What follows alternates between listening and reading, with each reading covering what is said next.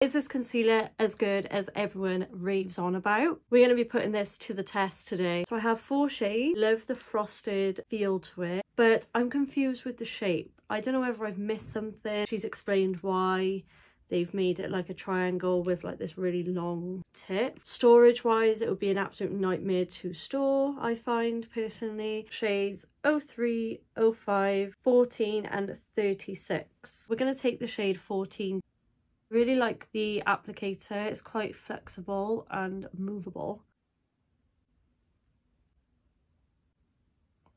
Okay, so that blended out really, really nicely. It's such a creamy, pigmented concealer. I'm going to apply the shade 05.